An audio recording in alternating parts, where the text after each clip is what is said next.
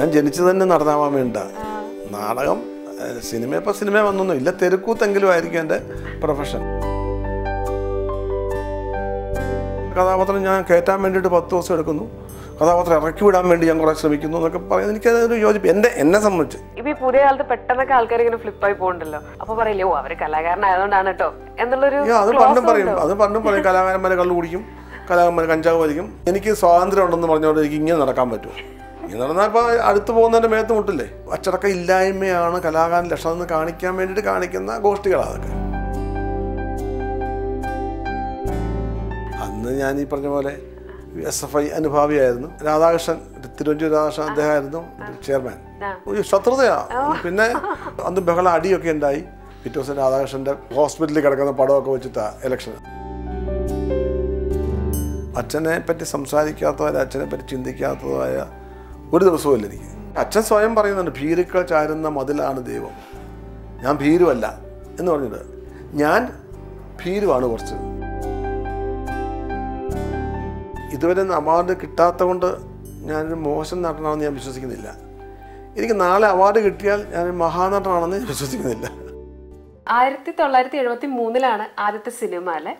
ആ സിനിമ നാടകമായിരുന്നപ്പോഴും അതിൽ ഭാഗമായിരുന്നു. കാപാലിക.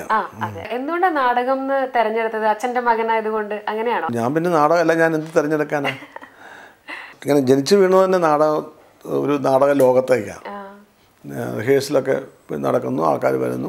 അപ്പം എനിക്ക് എന്റെ ജീവിതത്തിന്റെ ഒരു ഭാഗമാണ് നാടകം. പിന്നെ അച്ഛൻ നാടകം എഴുതുന്നു അല്ലെങ്കിൽ അച്ഛൻ ലേഖനങ്ങൾ എഴുതുന്നു ഇതൊക്കെ ഞങ്ങൾ അച്ഛൻ ചിറ്റയൊക്കെ ആയിട്ട് അച്ഛൻ അമ്മയൊക്കെ ആയിട്ട് സംസാരിക്കും. കുറച്ച് പ്രായമായപ്പോൾ എന്നോടും വിളിച്ച് കേൾപ്പിക്കും.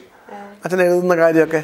അങ്ങനെ ഞാൻ ജനിച്ചു തന്നെ നടനാവാൻ വേണ്ട നാടകം സിനിമ ഇപ്പം സിനിമ വന്നൊന്നും ഇല്ല. തെരുക്കൂത്തെങ്കിലും ആയിരിക്കും എന്റെ പ്രൊഫഷൻ ഇതല്ലാതെ വേറൊരു പ്രൊഫഷൻ എനിക്കില്ല. അങ്ങനെ വിശ്വസിക്കുന്ന ആളാണ് അച്ഛനെ പറ്റി എപ്പോഴും സംസാരിക്കുമ്പോഴേ ഒരു ആരാധന കലർന്ന സ്നേഹം ഉണ്ടെന്ന് തോന്നിയിട്ടുണ്ട്.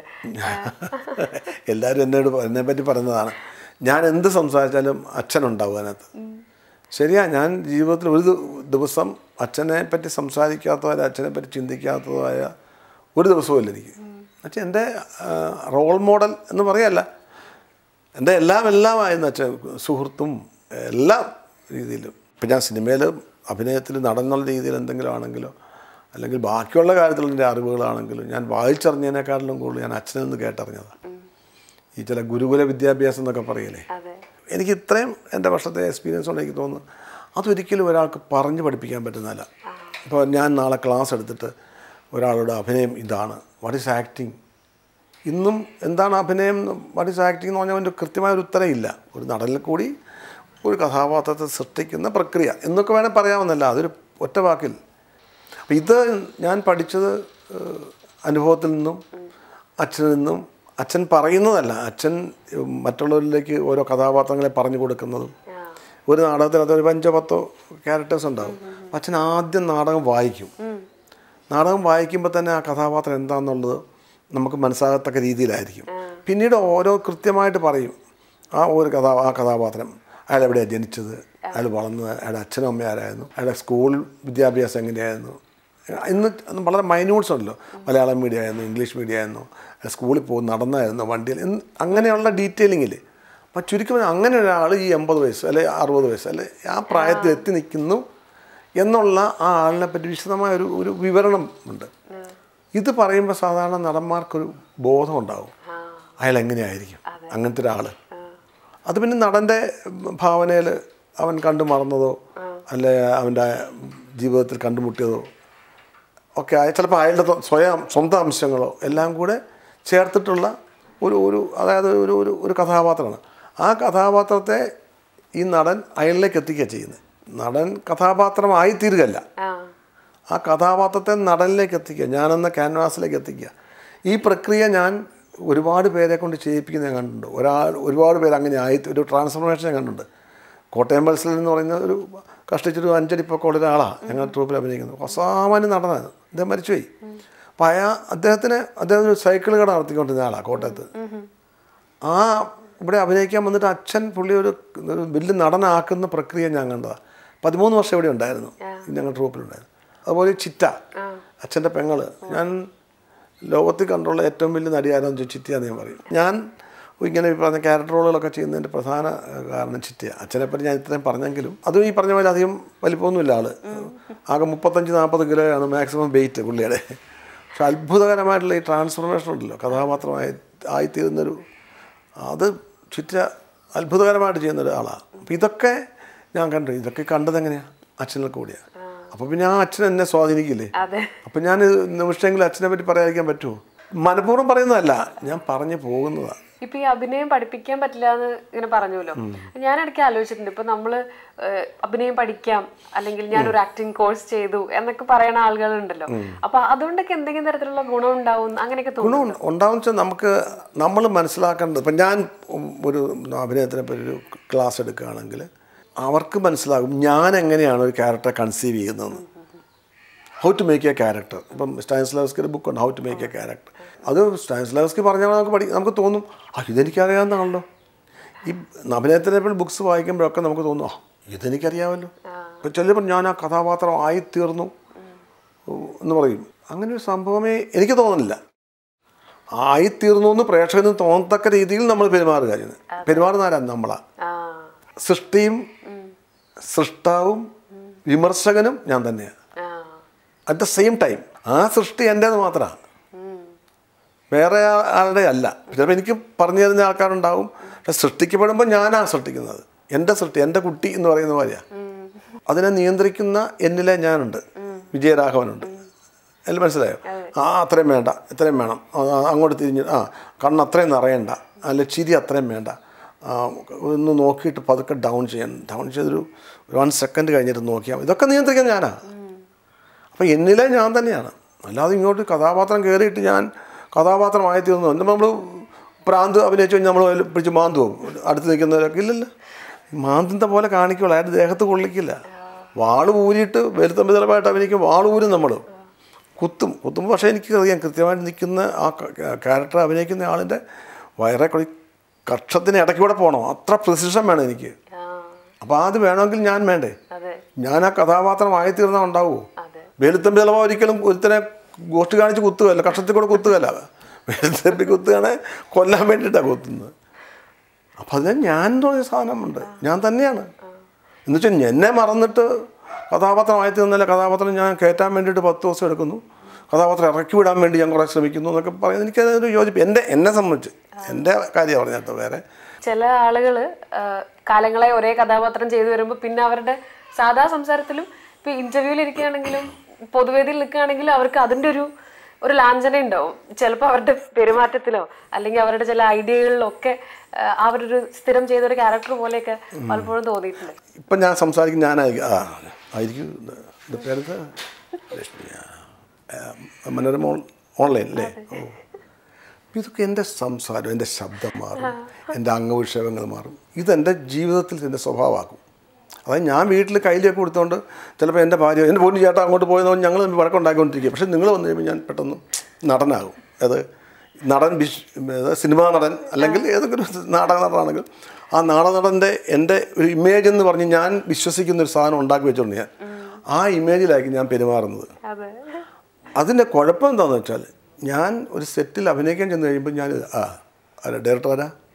ക്യാമറ ആ ക്യാമറ ഓ നമസ്കാരം. ഇതായിരിക്കും എന്റെ ഭാവമൊക്കെ. സ്ക്രിപ്റ്റ് നോക്കുന്നു ഇത് ആ സീൻ ശരിയല്ലത്. ഈ ഡയലോഗ് എനിക്ക് എന്റെ ഇമേജിന് പറ്റില്ല എന്നൊക്കെ പറഞ്ഞ് ചിലപ്പോൾ അങ്ങനത്തെ സംഭവങ്ങളൊക്കെ കയറും എനിക്ക്. ഞാൻ പറഞ്ഞു പോകും. എന്നുവെച്ചാൽ ഞാൻ അങ്ങനെ ആയിപ്പോയി. മനസ്സിലായോ? പിന്നെ എനിക്ക് കഥാപാത്രം തരിക. ഞാനൊരു ഒരു പാവ അപ്പാവി ഒരു മനുഷ്യനായിട്ടുള്ള ക്യാരക്ടർ ആയിരിക്കും. പക്ഷെ അപ്പാവിയാകാൻ പറ്റില്ല എനിക്ക്. ഞാൻ ഓൾറെഡി വേറെ ക്യാരക്ടറായിട്ട് നിൽക്കുക.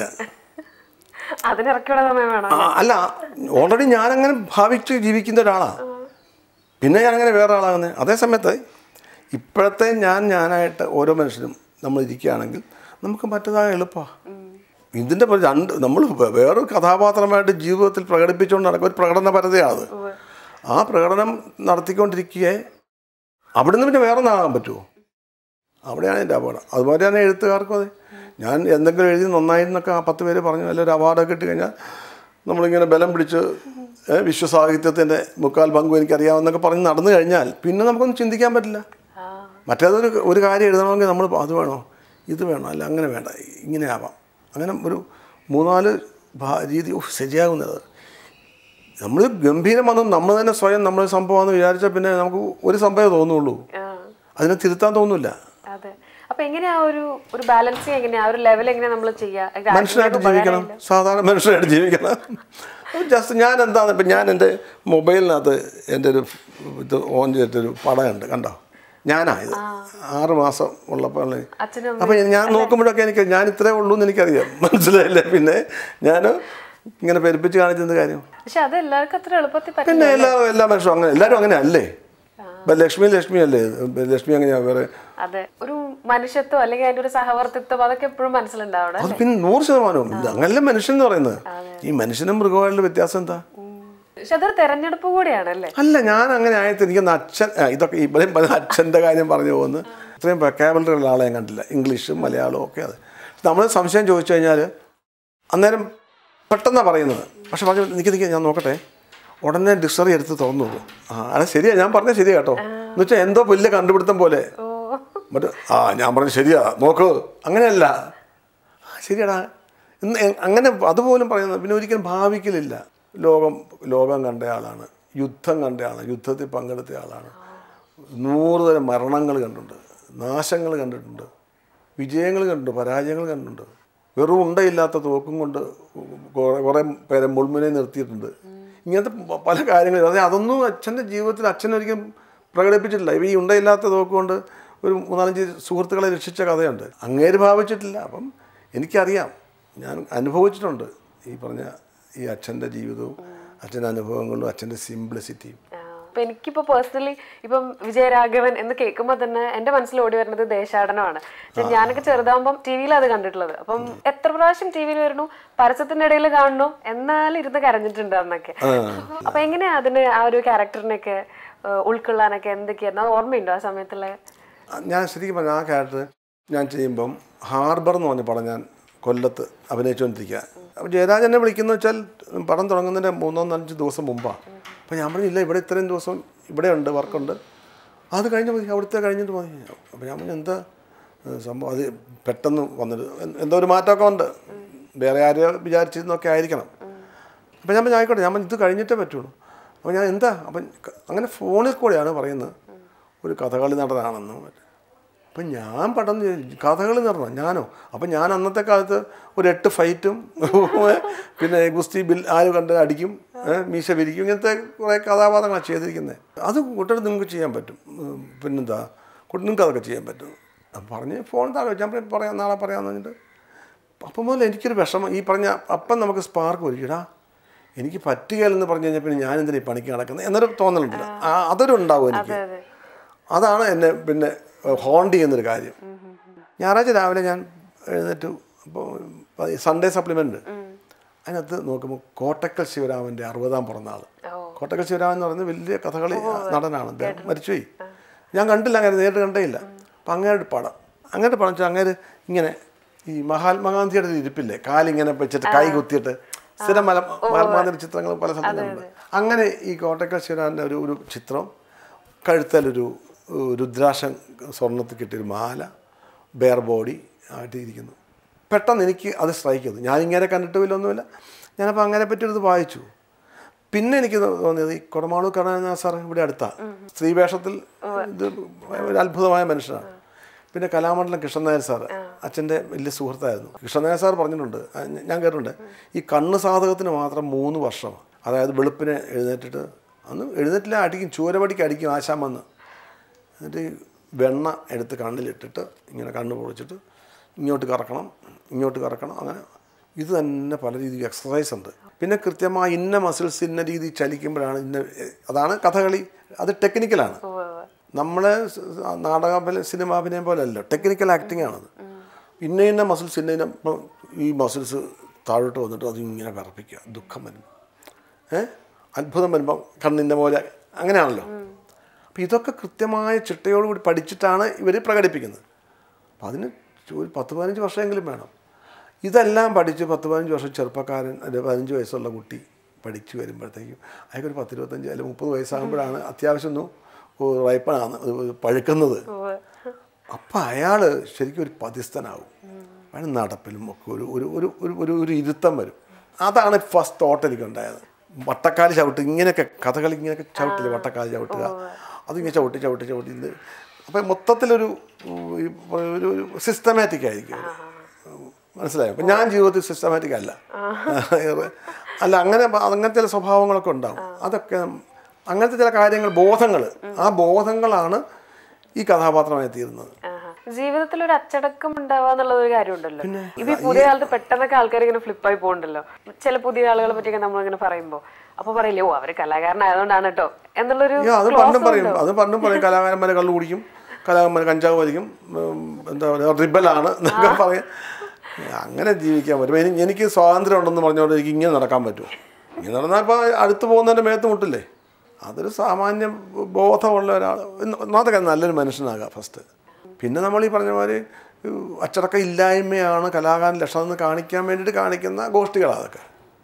എനിക്ക് അതിനോട് യോജിപ്പില്ല. ഇപ്പൊ നേരത്തെ ഇങ്ങനെ സംസാരിച്ച കൂട്ടത്തിൽ പറഞ്ഞല്ലോ ഇപ്പൊ ചില കാര്യങ്ങൾ ഇപ്പൊ ഒരു കഥാപാത്രം ആവുമ്പോ ചിലപ്പോ ഒരു ദൈവം സൃഷ്ടിക്കുക അല്ലെങ്കിൽ പ്രകൃതി സൃഷ്ടിക്കുക എന്നൊക്കെ. അപ്പൊ ഈ വിശ്വാസപരമായിട്ടൊക്കെ ഏതൊരു തട്ടിലാ നിൽക്കുന്നത് ഞാൻ ഈ കുട്ടിക്കാലം മുതൽ പറഞ്ഞു അച്ഛന് ശാലം പോലും ദൈവവിശ്വാസം ഇല്ലായിരുന്നു അത് ഇല്ലാന്ന് പറയുകയല്ല അച്ഛനാരും പറയാറില്ല. ഈ ദൈവമില്ല എന്ന് പറഞ്ഞ് പ്രസംഗിക്കാറുമില്ല. പക്ഷെ അച്ഛൻ സ്വയം പറയുന്നുണ്ട് ഭീരുക്കൾ ചാരുന്ന മതിലാണ് ദൈവം. ഞാൻ ഭീരുവല്ല. എന്ന് പറഞ്ഞിട്ട്. ഞാൻ ഭീരുവാണ് കുറച്ച്. മനസ്സിലായോ? അപ്പോൾ എനിക്ക് ചിലപ്പോൾ ചാരാനൊരു മതിലിന്റെ കഷ്ടം വേണം. എന്റെ അവസ്ഥയാണ് അത് ഏത് ദൈവമെന്നോ ഏത് ശക്തിയെന്നോ എനിക്കറിയാൻ മേല.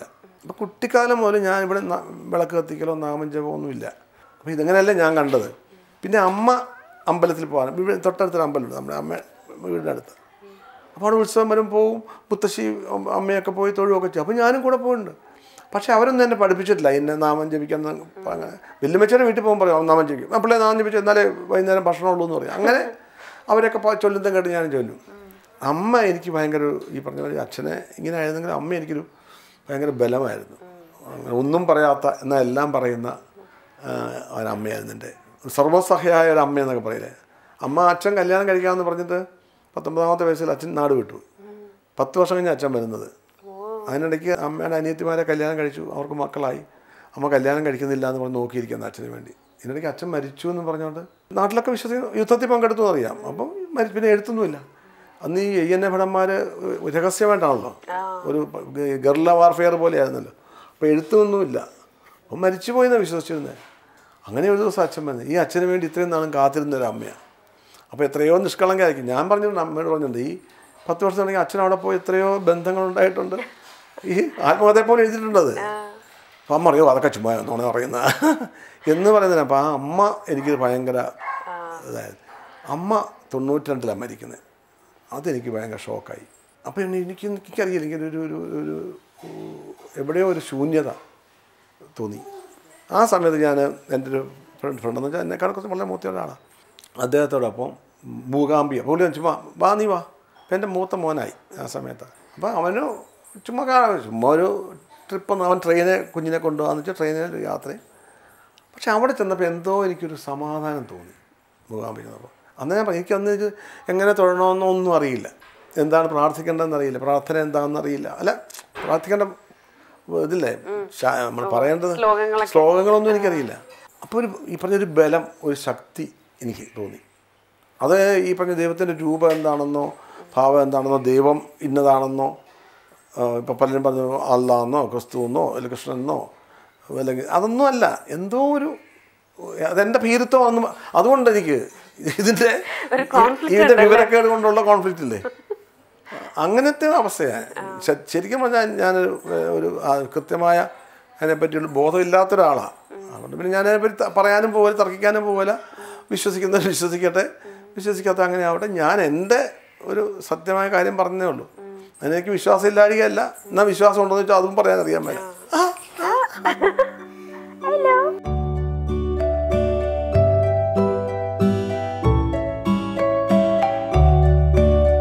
എന്താണ് കഴിച്ചത്? ഐസ്ക്രീമോ ഐസ്ക്രീം കഴിക്കാമോ ചൂട് ഐസ്ക്രീം ഓക്കെ ഓക്കെ ചൂടാക്കി ഐസ്ക്രീം അത് നന്നായി അത് നന്നായി. തണുത്ത് കഴിക്കാൻ പാടില്ല അല്ലേ?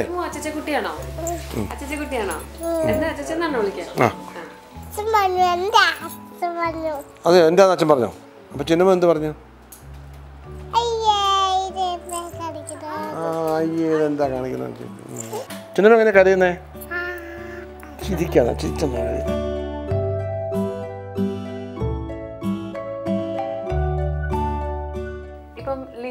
സിനിമയുടെ ഷൂട്ടിന്റെ സമയത്ത് മാലപാർവതി അതിന്റെ ഒരു അനുഭവം അങ്ങനെ പറഞ്ഞ കൂട്ടത്തിൽ പറഞ്ഞേ. ഇങ്ങനെ എപ്പോഴും ടെൻഷൻ കാരണം ഓ കൃഷ്ണ കൃഷ്ണ അതിങ്ങനെ പറയുന്നു അത്ര അവർ അപ്പം ചേട്ടൻ പറഞ്ഞു എന്താണ് ഈ കൃഷ്ണ കൃഷ്ണ പറയണത്? നമ്മൾക്ക് നമ്മളുടെ ഒരു വിശ്വാസമില്ലേ? എന്തെങ്കിലും ചോദിച്ചു എന്ന് പറഞ്ഞു അപ്പൊ നമ്മൾ ഈ ഹാർഡ് വർക്കിന് എവിടെയാ കാണുന്നത് ഈ ചാരണ മതിലിന്റെയും ഹാർഡ് വർക്കിന്റെ ഇടയിൽ എവിടെയാ നമ്മൾ പ്ലേസ് ചെയ്യണേ? അതെ ഞാൻ ഈ പറഞ്ഞ വിശ്വാസവും ഈ പറഞ്ഞ ഹാർഡ് വർക്കും തമ്മിൽ അതല്ല. എന്നെ സംബന്ധിച്ചിടത്തോളം എനിക്കൊരു അവസ്ഥയാണ് എന്റെ ഞാൻ ഒരു ആക്ടർ എന്നുള്ള രീതിയിൽ എന്നാലും ഞാൻ സാധാരണ ഒരു മനുഷ്യനാണ്. അപ്പോൾ എന്നോട് ഒരാൾ ഒരു കാര്യം പറയുമ്പോൾ അത് എന്തുകൊണ്ട് എന്നോട് പറയുന്നു? ഞാൻ ബാധ്യസ്ഥനല്ല ചെയ്യാൻ എന്നൊക്കെയുള്ള ചിന്തകളുണ്ട്. അതിന്റെ ഉദാഹരണം ഈ പറഞ്ഞ ഞാൻ ഈ പ്രായമുള്ളൊരു ക്യാരക്ടർ ചെയ്തില്ലേ? അപ്പോൾ അത് കഥ പറയാൻ വേണ്ടി അതിന് വിനോദ് പ്രൊഡ്യൂസർ വിനോദ് ഷൊർണൂർ പിന്നെ ഗണേശ് രാജ് ആനന്ദത്തിന്റെ ഡയറക്ടറാണ് ഗണേശ് ഇവിടെ വന്ന് കഥ പറഞ്ഞു. ഇവിടെ നിന്ന് കഥ പറഞ്ഞു ചേട്ടാ ഇന്ന സംഭവമുണ്ട്. സാധാരണ കഥയല്ല. ഒരു പത്തുനൂറ് വയസ്സുള്ള ഒരു അപ്പൂപ്പനും അമ്മമ്മയും. അവർ തമ്മിലുള്ളൊരു ഇഷ്യൂ ആണ്. ആ.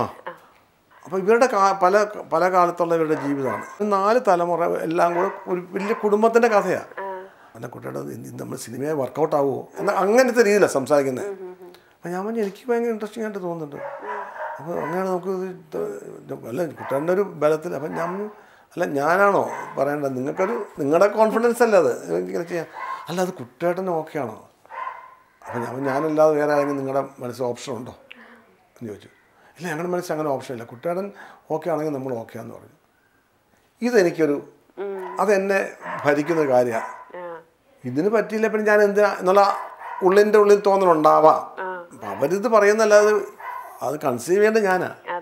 അല്ലാതെ ഞാൻ ഇത് പോയിട്ട് നാളെ എവിടെയെങ്കിലും സമർപ്പിച്ചിട്ട് ദൈവമേ എനിക്ക് തോന്നലുണ്ടാവണേ അല്ലെങ്കിൽ സൃഷ്ടികർത്താവേ എന്ന് പറഞ്ഞ് നടക്കുന്ന കാര്യമല്ല ആദ്യമായിട്ട് എനിക്ക് എന്നിലൊരു കോൺഫിഡൻസ് ഉണ്ടാവണം. ഞാൻ കോൺഫിഡന്റ് ആവണം. എനിക്ക് രൂപം ഉണ്ടാവും ഏകദേശം.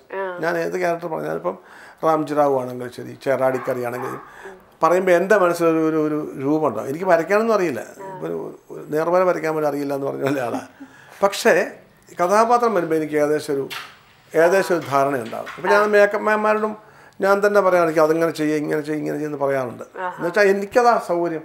അല്ലാതെ അവരൊരു പടം വരച്ചിട്ട് "ദാ ഇതാണ് ചേട്ടാ. ചേട്ടന്റെ ക്യാരക്ടർ സ്കെച്ച് വരച്ചൊന്നും എനിക്ക് പറ്റില്ല. ഹ്യൂമൻസ് ഓഫ് പൂക്കാലത്തിന്റെ പോസ്റ്റർ ഒക്കെ വന്നല്ലോ നൂറ് വയസ്സുള്ള ആളായിട്ട് വിജയരാഘവൻ വരുന്നു അങ്ങനെയൊക്കെ.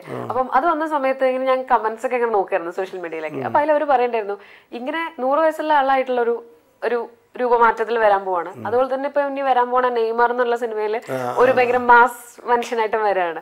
അപ്പം അത്രയും ഒരു ഷിഫ്റ്റ് ചെയ്യാൻ പറ്റുന്ന കഴിവുള്ള നടന്മാരുണ്ടോ എന്നൊക്കെ പറഞ്ഞിട്ട് കുറെ ഇങ്ങനെ ഫോട്ടോസ് ഒക്കെ വന്നു. ഒരുപാട് പേരുണ്ട് മലയാള സിനിമയിൽ ഏറ്റവും കുറവ് സിനിമ കണ്ട ആളായിരിക്കും ഞാൻ ജീവിതത്തിൽ പണ്ട് കാലത്ത് ഞാൻ സിനിമ കാണാതിരുന്ന കാര്യം എന്താണെന്ന് വെച്ചാൽ അന്നത്തെ പല സിനിമകളുടെ അഭിനയ രീതികൾ ആരെയും കുറ്റം പറയുക കുറവ് പറയുകയല്ല പണ്ടത്തെ സിനിമകളിൽ പല അഭിനയങ്ങളും ഒരു ഒരു എക്സാജുറേഷൻ തോന്നിയിരുന്നു എനിക്ക്. പലരുടെയും പക്ഷെ അത് അന്നത്തെ കാലത്ത് ശരിയായിരുന്നു. അപ്പോൾ അത് അതൊക്കെ ആയിരിക്കാം. പിന്നീട് കുറേ കാലം കഴിഞ്ഞപ്പോൾ ഞാൻ എനിക്ക് ചില നടന്മാരോട് നമുക്ക് ഒരു ഇഷ്ടം തോന്നും ഇപ്പം ഉദാഹരണം നമ്മൾ സിനിമ കാണാൻ പോ തിയേറ്ററിൽ പോയിട്ട് പടം പടം കണ്ടിട്ട് ഇപ്പം വണ്ടി ഓടിച്ച് തിരിച്ചു വരുമ്പം ഇപ്പം ധർമ്മേന്ദ്ര അല്ലെങ്കിൽ അമിതാഭ് ബച്ചൻ എന്റെ പടം കഴിക്കാണ് കണ്ടു വരുമ്പോൾ നമ്മൾ പിന്നെ അമ്മേന്ദ്ര ഓടിക്കുന്ന പോലെ നമ്മൾ ഉള്ളിന്റെ ഉള്ളിൽ ധർമ്മേന്ദ്ര കയറും. ഇത് അഭിനയത്തിന് നമ്മളെ സ്വാധീനിക്കും. അത് എനിക്ക് ഒരിക്കൽ സംഭവിച്ചിട്ടുണ്ട്. റിഹേഴ്സൽ സമയത്ത് അച്ഛൻ പറഞ്ഞു എനിക്ക് അവിടെ കമലഹാസൻ ഒന്നും ആകണ്ട എന്നുണ്ട് പറഞ്ഞു. അപ്പോൾ എന്റെ മനസ്സിൽ കമലഹാസനോട് ഭയങ്കര ആരാധന ഉണ്ടായിരുന്നു. പിന്നീട് എനിക്ക് മനസ്സിലായി അതൊരു വലിയ കുഴപ്പമാണ് നമ്മളൊരാളെ കണ്ടമാനം അങ്ങോട്ട് ഇഷ്ടപ്പെടരുതെന്നല്ല. എനിക്കും ഇഷ്ടമാണ് ഒരുപാട് പേരെ ഇഷ്ടമുണ്ട് നടന്മാരുണ്ട്. ഇഷ്ടം ഒരുപാട് പേരുണ്ട്. പക്ഷെ ഞാൻ പറഞ്ഞു അവരെ അന്ധമായിട്ട് നമ്മളുടെ ആരാധിച്ചാൽ അവരുടെ അംശങ്ങൾ നമ്മളെ സ്വാധീനിക്കും. ആ സ്വാധീനം ചിലപ്പോൾ നമ്മൾ അവതരിപ്പിക്കുന്ന കഥാപാത്രങ്ങളുണ്ടാവാം അതുകൊണ്ടാണ് ഞാൻ പറഞ്ഞത്. അല്ലാതെ ഞാൻ ഒരു ഇതായിട്ടല്ല. ഞാൻ കണ്ട് പരിചയപ്പെട്ടതായ അല്ല കണ്ടു മറന്നതായ ഒരുപാട് പേരുടെ അംശങ്ങളുണ്ട്. ഇപ്പോൾ ഈ പ്രായമുള്ള ക്യാരക്ടർ പറഞ്ഞാൽ അതിനകത്ത് ഞാനൊരു നൂറ് വയസ്സുള്ള ഒരാളെ കാണണമെന്ന് ആഗ്രഹം തോന്നി. അപ്പം കാഞ്ഞിരപ്പിള്ള ഞാൻ അദ്ദേഹത്തെ പോയി കണ്ട് അദ്ദേഹത്തിന്റെ മകനെ ഫോണിൽ പരിചയപ്പെട്ടു. അപ്പോൾ ഞാൻ കാര്യം പറഞ്ഞു. ഇതാണ് കാര്യം. അപ്പോൾ പുള്ളി ശരി കാണാമല്ലോ ഞാൻ അദ്ദേഹത്തെ കാണാൻ പോയി. ചെന്നപ്പം അപ്പം നൂ നൂറ് പൈസ മറ്റുണ്ട് അദ്ദേഹത്തിന്. ഞാൻ ചെന്നപ്പോൾ ദേ വടി പോലെ മനുഷ്യൻ. അങ്ങനെ നൂറ് വയസ്സൊന്നുമില്ല. ഈ പറഞ്ഞ പ്രത്യേകിച്ച് അങ്ങയുടെ കയ്യിൽ നിന്നൊന്നും കിട്ടിയില്ല. പക്ഷെ ചില സാധനങ്ങൾ എനിക്ക് കിട്ടി. കൈക്ക് ചെറിയൊരു പ്രശ്നം ഉണ്ടായിരുന്നു അത് ഈ അടുത്ത് അടുത്ത് ഈ രണ്ട് വിരലിന്റെ ഒരു. ഞാൻ ഇതിനകത്ത് ഉപയോഗിച്ചു. പക്ഷെ അത് എന്റെ ഈ വിരല ഞാൻ ഉപയോഗിച്ചിരിക്കുന്നത്. അതും ഇയാളൊരു അത് നെർവസ് സിസ്റ്റത്തിന് വരുന്ന പ്രായമാകുമ്പോൾ വരുന്നൊരു കാര്യമാണ് കാര്യം. നമുക്ക് ഇതാണ് പാർക്കിസൺസ് പാർക്കിസൺസ് ഉണ്ട്. അങ്ങനത്തെ അസുഖങ്ങളാണെങ്കിൽ ഉറക്കത്തിലും ഉണ്ടാവുന്നത് പക്ഷേ നെർവസ് ആണെങ്കിൽ നെർവസ് സിസ്റ്റത്തിൽ വരുന്ന കുഴപ്പം കൊണ്ടാണ് ഉറക്കത്തിൽ കാണുകയില്ല. നമ്മുടെ ബോധത്തിലേ ഉണ്ടാവും പിന്നെ അത് എപ്പോഴും കാണണമെന്നില്ല. ചിലപ്പോൾ ബലമുള്ള സ്ഥലത്ത് പിടിച്ചാൽ ഉണ്ടാവുകയില്ല. ഈ മുണ്ട ഒക്കെ പിടിക്കുക അല്ലെങ്കിൽ ചില പത്രമൊക്കെ എടുക്കുക അല്ലെങ്കിൽ പേപ്പറൊക്കെ എടുക്കാൻ ഉണ്ടാവും. ബലമുള്ള സ്ഥലത്ത് പിടിച്ചാൽ ഇതാവും. പല അംശങ്ങളും കൂടിയിട്ട് അത് നമുക്ക് പറ്റുന്ന രീതിയിൽ നമ്മളിലേക്ക് എത്തിക്കുക. അതെ. അതായത് നമ്മളിലേക്ക് എത്തിക്കുന്ന പറഞ്ഞപ്പോ അതാ. ഇപ്പൊ ഒരു ആയിരത്തി തൊള്ളായിരത്തി എൺപത്തി ഏഴിലാണ് ന്യൂഡൽഹി അല്ലേ അവിടെ തൊട്ടിട്ട് കുറച്ചുകൂടി ഒരു ഒരു ബിസി സിനിമയിലേക്ക് വരണേ അപ്പം അപ്പോഴൊരു കൺഫ്യൂഷൻ ഉണ്ടായിരുന്നോ? കാരണം നാടകത്തിൽ തിളങ്ങി നിൽക്കുന്ന സമയം തന്നെയാണല്ലോ. അല്ല ഞാനൊരു എൺപത്തി മൂന്നിൽ ആദ്യം സുറമേട്ടാണ് അത് അഭിനയിക്കുമ്പോൾ ആ പടം പൊട്ടി. മോശമായപ്പം പിന്നെ നമുക്ക് വലിയ പ്രതീക്ഷയില്ല. പക്ഷെ ആ സമയത്ത് പി ജി വിശ്വംഭരൻ സാറ് എന്നെ പുള്ളിയുടെ പിന്നിലാവുന്ന സിനിമകൾ വെച്ച് ഞാൻ മോഹൻലാൽ മുകേഷൊക്കെ ഉണ്ട് ഇത്. അതിനകത്ത് ഒരു ഒരു വില്ലന്മാരുടെ കൂടെ ഞാൻ മുകേഷ് അന്നും ലാൽ വില്ലനാണ് മമ്മൂട്ടി ചീത്തയാക്കുന്ന ഒരു കുറേ കൂട്ടുകാർ അതിൽ കൂട്ടുകാരൻ അത് കഴിഞ്ഞിട്ട് ഈ ശബ്ദത്തെ ശബ്ദം എന്ന് പറഞ്ഞൊരു സിനിമ വന്നു. അതിനകത്ത് മെയിൻ വില്ലൻ ഞാൻ ഏഴ് പേര്. ഏഴ് ആ, ചെറു- ചെറുപ്പക്കാരിയാകുന്ന ഒരു പെണ്ണിനെ അവിടെ അനിയത്തൊക്കെ ബലാത്സംഗം ചെയ്യുക ചെയ്തു അതിന് പ്രതികാരം ചെയ്യുന്ന മമ്മൂട്ടി. അവസാനം കൊല്ലുന്നത് തന്നെയാണ് അപ്പോൾ ഈ അവസാനം മരിക്കുന്നതാണല്ലോ വലിയ വില്ലൻ അങ്ങനെയാണ് ഒരു പ്രധാന വില്ലനാകുന്നു അതാണ് എനിക്ക് ആദ്യം ഷീൽഡ് കിട്ടുന്നത്. നൂറാം ദിവസം. അന്ന് നൂറാം ദിവസം ഓടുക എന്നൊക്കെ പറഞ്ഞ വലിയ കാര്യമാണ്. അങ്ങനെ ആദ്യമായിട്ട് നൂറ് ദിവസം ഓടിയ പടത്തിന്റെ ഷീൽഡ് എനിക്ക് കിട്ടി. പക്ഷെ അപ്പോഴും ഞാൻ നാടകം വിട്ടിട്ടില്ല. എനിക്ക് അവിടുന്ന് ഞാൻ കൈവിട്ടില്ല. നാടകം തന്നെ എന്റെ ഇത് ന്യൂഡൽഹി മുതൽ ഞാൻ തിരക്കായി. അപ്പം പിന്നെ നാടകം വിട്ടിട്ട് വേറെ പകരം ആളിനെ അഭിനയിച്ചു ഓരോ കാലഘട്ടത്തിൽ ഉണ്ടാവുന്ന സിനിമകളിലെ കഥാപാത്രങ്ങൾ വെച്ചിട്ടാണല്ലോ ആ കാലഘട്ടത്തിലെ ആളുകൾ ഓർക്കുക ഇപ്പം സി ഐ ഡി മൂസ പോലത്തെ ഒരു സിനിമ ഇന്നത്തെ ഒരു ഇരുപതുകളിലൊക്കെ നിൽക്കുന്ന ആളുകൾക്ക് അതിലൂടെയൊക്കെ ആയിരിക്കും പരിചയമല്ലേ? അതിന് മുമ്പ് ഒരു പോലീസ് ഓഫീസർ വന്നു. നാടുവാഴികൾ ജോഷി ജോഷി അതിനകത്ത് ഇതുപോലെ ഒരു സപ്പോർട്ടിങ് ക്യാരക്ടറായിരുന്നു ആ സ്വഭാവം ഉണ്ടായിരുന്നു. പിന്നെ ഞാൻ പറഞ്ഞു ഞാൻ ഒരിക്കലും ഒരിടത്ത് ഉറച്ചു നിന്നിട്ടില്ല. പിന്നെ വില്ലനാകും അടുത്തതിനകത്ത് ചിലപ്പം നായകനെ നായകനെ സപ്പോർട്ട് ചെയ്യുന്ന ക്യാരക്ടറാകും ആ സമയത്ത് മേലെ പറമ്പിലാണ് വീട്. പറമ്പിലാണ് വീട്. അതൊരു ഹ്യൂമർ ക്യാരക്ടറാണ് അപ്പം അങ്ങനെ ഞാൻ ഒരിടത്തും ഉറച്ചു നിന്നിട്ടില്ല. പിന്നെ ഇടയ്ക്ക് എനിക്ക് ഈ പറഞ്ഞ ഉറച്ചു നിന്നെന്ന് വെച്ചാൽ കുറേ പടങ്ങൾ ഹീറോ ആയിട്ട് ചെയ്യേണ്ട ഒരു കാലം ഉണ്ടായിരുന്നു. അതാണ് കുഴപ്പം പിടിച്ച കാലം. എന്ന് വെച്ചാൽ വേറൊന്നും ചെയ്യാനില്ലല്ലോ ഈ ഹീറോ സക്സസ്ഫുൾ കാലമായിരുന്നില്ലേ? സക്സസ്ഫുൾ കാലം എന്നെ സംബന്ധിച്ചിടത്തോളം പൈസ കൂടുതൽ കിട്ടുന്ന കാലം. എന്ന് അന്ന് വരെ കിട്ടിക്കൊണ്ടിരുന്ന പൈസക്കാലം കൂടുതൽ പൈസ കിട്ടും. പിന്നെ ഈ പറഞ്ഞില്ലേ ഒരു ജോലി പോലെയാകും എനിക്ക് എന്നെ സംബന്ധിച്ച് ഞാൻ പറഞ്ഞ വേറെ ആൾക്കാരെ സംബന്ധിച്ചല്ല എനിക്ക് ഈ ഹീറോ എന്ന് പറയുമ്പോൾ തോന്നുന്നില്ല ഒരു ചതുര ഒരു ഒരു ഒരു ഒരു ഒരു ഒരു ഫ്രെയിമുണ്ട്. അതായത് ഇവന്റെ വിജയം അവന്റെ നന്മ അവന്റെ പ്രണയം? അവന്റെ പ്രതികാരം അവനാണെല്ലാം.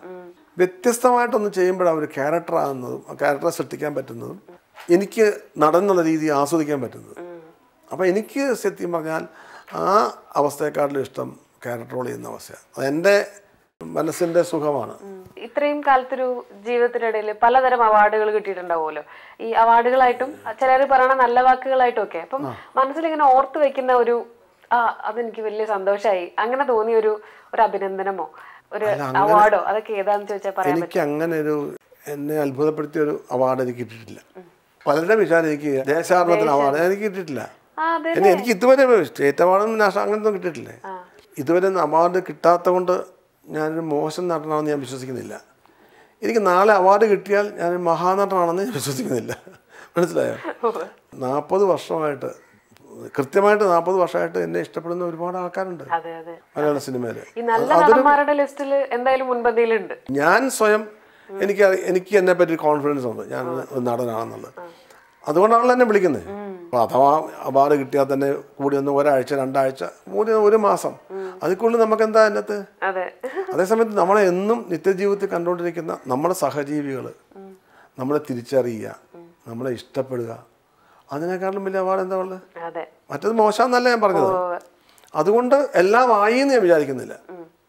ഇവിടെ മല സിനിമയിൽ നിലനിൽക്കുക എന്നുള്ളതാണ് ഏറ്റവും വലിയ കാര്യം. എന്നെ ബാധിക്കുന്ന എനിക്ക് നല്ല കഥാപാത്രം അഭിനയിക്കണം.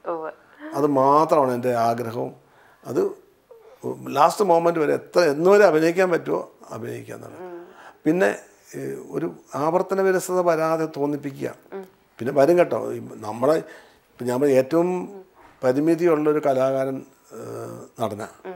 ബാക്കി മറ്റു ചിത്രകാരനാണ് എവിടെ വേണേൽ പടം വരയ്ക്കാം. എന്തുകൊണ്ടും വേണം സ്കൾപ്ചർ ഉണ്ടാക്കാം. നമ്മുടെ ക്യാൻവാസ് നമ്മളല്ലേ. അപ്പം അതിന് എത്ര വ്യത്യസ്തത വരുത്താൻ പറ്റും? ഏകലവ്യനിലെ ചേരാതിക്കറിയും രൗദ്രത്തിലെ അപ്പിച്ചായനും. ഇവർ രണ്ടുപേരും വേണമെങ്കിൽ നമുക്ക് ഒരേ രീതിയിലുള്ള ആളുകളാണെന്ന് പക്ഷെ നമുക്കത് തോന്നിയിട്ടേ ഇല്ല. ഏകദേശം അതിന് അങ്ങനെ വലിയൊരു കാലപ്പഴക്കമില്ല രണ്ട് ക്യാരക്ടേഴ്സ് തമ്മിലല്ലേ?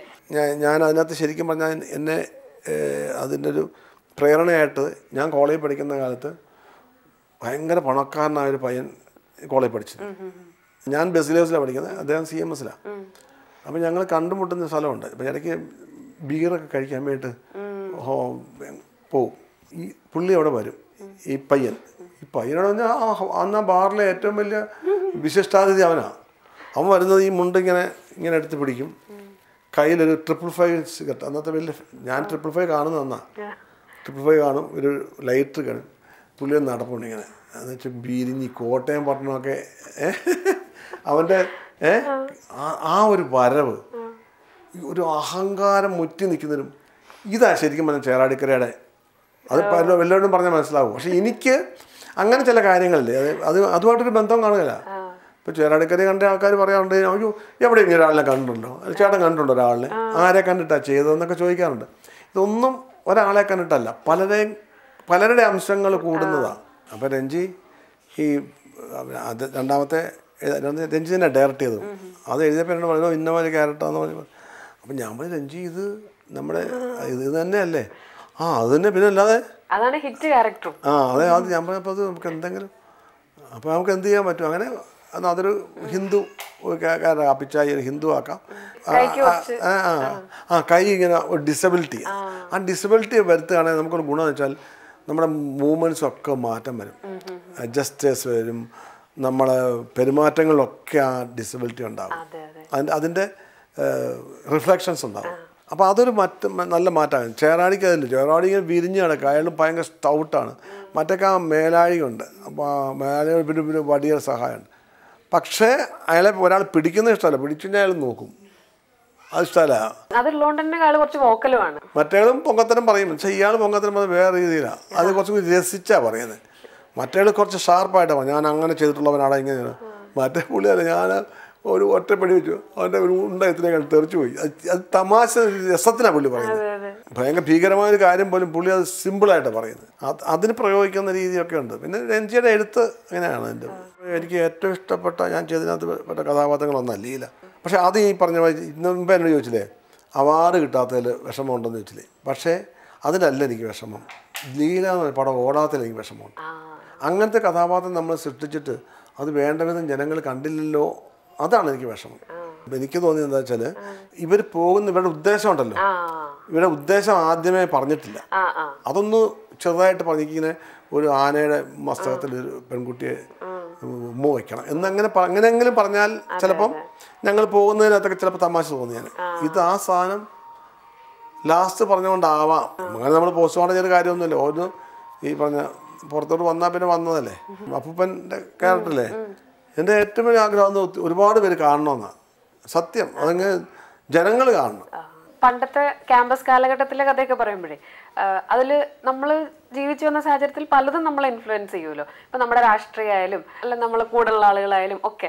ഇപ്പം പണ്ട് കോളേജ് കാലത്ത് ഒരു സജീവ രാഷ്ട്രീയ പ്രവർത്തകനായിരുന്നു അല്ലേ അന്ന്? സജീവമൊന്നും അല്ലായിരുന്നു അന്ന് ഞാൻ ഈ പറഞ്ഞ പോലെ എസ് എഫ് ഐ അനുഭാവിയായിരുന്നു. അങ്ങനെ ഞാൻ ഇലക്ഷൻ നിന്നിട്ടുണ്ട് ബിസിനസ് കോളേജിൽ ആർട്സ് സെക്രട്ടറി ആയിട്ട്. രാധാകൃഷ്ണൻ തിരുവഞ്ചൂർ രാധാകൃഷ്ണൻ അദ്ദേഹമായിരുന്നു ജനറൽ എന്ത് കൺവീനർ ചെയർമാൻ ഒരു ശത്രുതയാ. പിന്നെ എന്നിട്ട് അന്ന് എന്തോ കാര്യം പറയും എനിക്ക് എനിക്ക് എന്റെ കാര്യം പോലും അറിയാൻ പറ്റില്ല കേട്ടോ. എന്നുവെച്ചാൽ ഞാൻ അന്നും ഈ പറഞ്ഞ ഇടയ്ക്ക് നാടകത്തിൽ പകരം ആരെങ്കിലും വന്നില്ല പകരം അഭിനയിക്കാനൊക്കെ പോകും.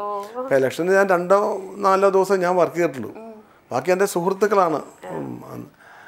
അപ്പം അങ്ങനെ എന്തോ വന്ന് അന്ന് ബഹള അടിയൊക്കെ ഉണ്ടായി. രാധാകൃഷ്ണനെ താഴെ വീഴുമോ എന്താ ചെയ്തിട്ട് അപകടം പറ്റി? പിറ്റേ ദിവസം രാധാകൃഷ്ണന്റെ ഹോസ്പിറ്റലിൽ കിടക്കുന്ന പടമൊക്കെ വെച്ചിട്ടാണ് ഇലക്ഷൻ അപ്പോൾ എല്ലാവരും ഭയങ്കര ഭൂരിപക്ഷത്തോടെ ജയിച്ചു. ഏറ്റവും ഭൂരിപക്ഷം കുറഞ്ഞ് തോറ്റുപോയത് ഞാനാ. അത് ഞാൻ എന്റെ പത്തോ നൂറോ വോട്ടിനാണ് തോറ്റത്. അതൊക്കെ വലിയ സംഭവമാണ് ബാക്കി എൻ ബ്ലോക്കായിട്ട് എല്ലാവരും വോട്ട് ഇന്ന് ഈ വഴക്കൊക്കെ കണ്ടുകൊണ്ടിരിക്കുക ആ, പിന്നെ അങ്ങനെ അങ്ങനെ അങ്ങനെ പറ്റി. ഈ വോട്ട് ചെയ്യാൻ വരുന്ന അന്ന് രാവിലെ എല്ലാം രാധാകൃഷ്ണൻ ഇങ്ങനെ കിടക്കുന്ന പടമൊക്കെ വിതരണം ചെയ്തു. ഓരോ ജംഗ്ഷനിൽ നിന്നിട്ട് കോളേജിലെ പിള്ളേരും മിക്കവാറും നടന്നാണല്ലോ വരുന്നത് അപ്പോൾ അതെല്ലാം അങ്ങനെ കൊടുത്ത് നമ്മുടെ വോട്ടുകളൊക്കെ മറിഞ്ഞു. പക്ഷെ ഞാൻ രാധാകൃഷ്ണൻ നല്ല സുഹൃത്തുക്കളാണ് രാധാ അരവിന്ദാക്ഷൻ എന്റെ കെ ആർ അരവിന്ദാക്ഷൻ അവൻ എന്റെ ജൂനിയർ ആയിരുന്നു. ശരിക്കും ഒരുപാട് തലത്തിലുള്ള കഥാപാത്രങ്ങളും ഒരുപാട് സൗഹൃദങ്ങളും ഒക്കെ ഉണ്ടല്ലോ. ഇപ്പം മനസ്സിൽ ഓർത്തു വെക്കുന്ന ചില സൗഹൃദങ്ങളിൽ സംവിധായകരൊക്കെ ഉണ്ടോ നമ്മുടെ സിനിമയിലേക്ക്? പണ്ടെന്ന് പറയാനുള്ള ജോഷിയാണ് എന്റെ ജോഷി. ഞങ്ങൾ ഒന്നിച്ച് പഠിച്ചതാണ്. ഞാൻ S N college Cherthala S N college പഠിച്ചപ്പോൾ ജോഷി ഉണ്ടായിരുന്നു അവിടെ. മാത്രമല്ല ജോഷിക്ക് ജോഷിയുടെ അച്ഛൻ മൂന്ന് തിയേറ്റർ ഉണ്ടായിരുന്നു. വർക്കല വാസു ശശി ആറ്റിങ്ങൽ ഗൗരി അങ്ങനെ പണ്ട് നാടകം കളിക്കാൻ പോകുമ്പോൾ ഇവിടെയൊക്കെ അപ്പം അന്ന് അച്ഛന്റെ കൂടെ പോകുമ്പോൾ അന്ന് ഞാൻ പ്രൊഫഷണലായിട്ട് അഭിനയിക്കുന്നില്ല എങ്കിൽ പോലും ഇടയ്ക്ക് പോകുമ്പോൾ അങ്ങനെ പരിചയമുണ്ട്. പിന്നെ കാബാലിയ എന്ന് പറഞ്ഞ സിനിമയാണ് ഞാൻ ആദ്യം അഭിനയിക്കുന്നത്. ഞാനത് എന്റെ റെക്കോർഡിങ്ങിന് ഭരണി സ്റ്റുഡിയോയിൽ നിൽക്കുമ്പോൾ എന്താ ജോഷി നിൽക്കുന്ന അവിടെ. അങ്ങനെയാണ്. അപ്പോൾ ഞാൻ എന്താ അമ്മ? അപ്പോൾ ക്രോസ്ബെറ്റ് മണിയുടെ കൂടെ അസിസ്റ്റന്റ് ആയിട്ട് വന്നതാണ്. പലർക്കും ഒരു ജോഷി എന്നൊക്കെ പറയുമ്പോൾ ഒരു ഭയം അങ്ങനെയുണ്ട്. അപ്പം ഞങ്ങൾ സുഹൃത്തുക്കളായതുകൊണ്ട് കുറേ കൂടുതൽ അടുപ്പമുണ്ട്. ജോണി ജോഷി പറയുന്ന വളരെ കൃത്യമായിട്ട് കാര്യങ്ങൾ പറഞ്ഞു കൊടുക്കും. ഒരു ഒരു മുഹൂർത്തം എങ്ങനെ ചെയ്യാം അത് എവിടെ കൊണ്ട് മുറിക്കാം എന്നൊക്കെ നമുക്ക് പടം കാണുകയും നമ്മൾ അഭിനയിക്കുകയും ചെയ്യുമ്പോൾ നമുക്ക് മനസ്സിലാകും. എങ്ങനെയാണ് ഉപയോഗിക്കുന്നത്? നടനെ എങ്ങനെ യൂസ് ചെയ്യുന്നു എന്നുള്ളത് നമുക്ക് മനസ്സിലാക്കാൻ പറ്റും. സംവിധാനം ചെയ്യാൻ ഒന്നുമില്ല.